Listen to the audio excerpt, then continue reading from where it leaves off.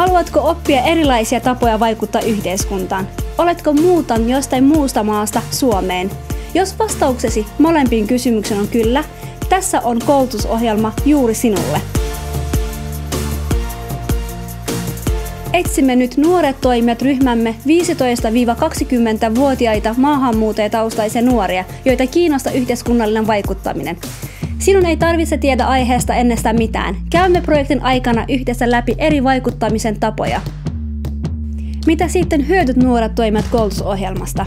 Saat tietoja, joita yhteiskunnallisen vaikuttamisen tarvitaan, pääset tapaamaan kiinnostavia yhteiskunnallisia vaikuttajia ja hankit ensimmäiset vaikuttamiskokemukset suomalaisessa yhteiskunnassa.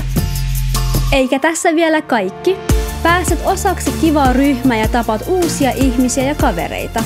Työskentelet yhdessä mukavien ohjaajien kanssa, pääset osallistumaan kesällä viikonlopun kestävälle päiväleirille Helsingissä, saat tehdä yhdessä ryhmäsi kanssa vaikuttamisprojektin jonkin sinua kiinnostavan yhteiskunnallisen asian edistämiseksi, saat osallistumisesta todistuksen, jota voit käyttää esimerkiksi työn haussa.